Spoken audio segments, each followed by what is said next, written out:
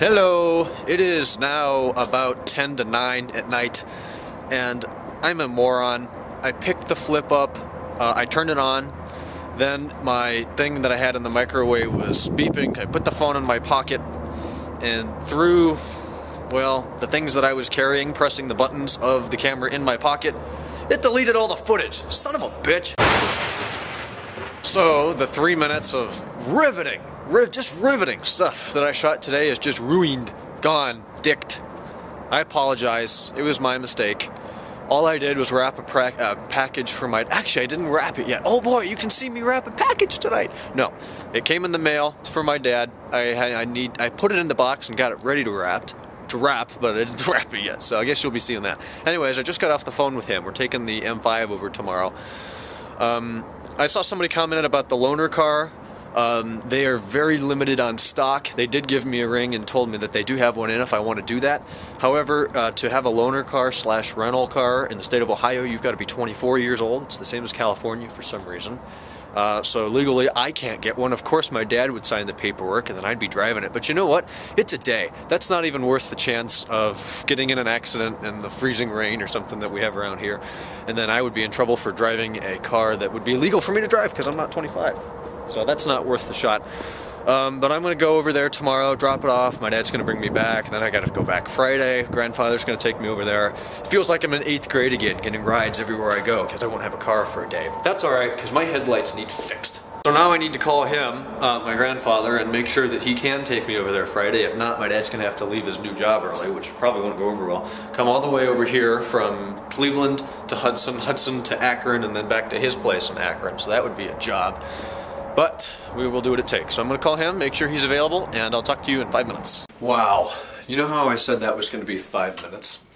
It turned out being about an hour and 25 minutes. Called my grandfather. He's in the, as he described it, he's in the middle of a rat's nest. Uh, he got into some problems with his uh, hot water heater. He's got water all over the place. They have no water in the house. It's just cocked. So he's got a plumber coming over tomorrow morning to fix it. Anyways, he is available to do that, so I'll get the car back Friday. But um, while talking with him, I ended up giving it a sponge bath in the garage.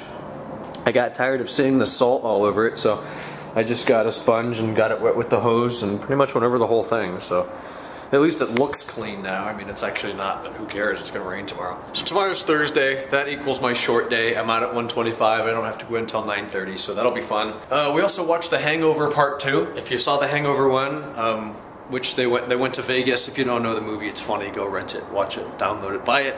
It's a good movie. But we watched Part 2. It was, uh, I think, better than the original one. It was pretty funny.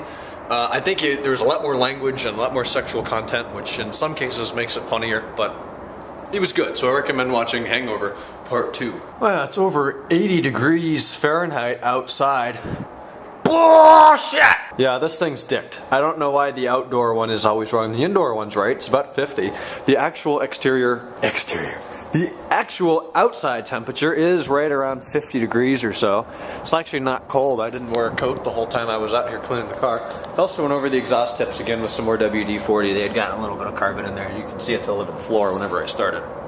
Anyways, uh, I'm going to go in now, wrap that present, put this together, and uh, try to go to bed a little bit earlier and get some more YouTube videos watched in my two-hour watch later playlist. Alright, I've got Canon on hold. I'm going to film a quick clip. Here's this thing from my dad, so if you watch this, here it is. Yep, that is there. Only Canon knows what it is. So there's what I have wrapped so far. And there's a cat. Hi! How you doing? Uh, that's all I've done today. Sorry that I screwed up and deleted that footage. I don't think there's like three buttons that you have to press in order to make those clips disappear, and I don't even know how that happened, but it did. So I'm sorry. But 367 here. I'll talk to you tomorrow, Thursday, in 368. So thanks for watching and good night.